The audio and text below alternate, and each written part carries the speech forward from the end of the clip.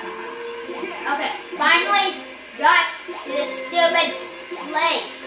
Now it won't let me get off the wall. Now I actually want to. Anyway, let's just destroy this. Forget that it all ever happened.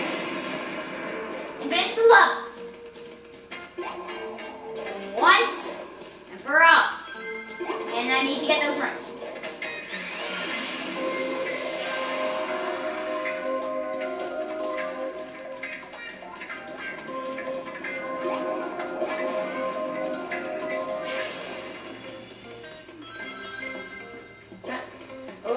Just finish this level and I'll see you guys next time. Bye!